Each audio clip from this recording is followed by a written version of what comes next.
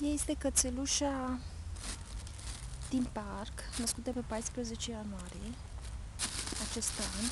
A fost foarte muș- rău mușcată la acest picior. Cred că tot ei între ei câini. Vedeți, e desprinsă carne, pur și simplu.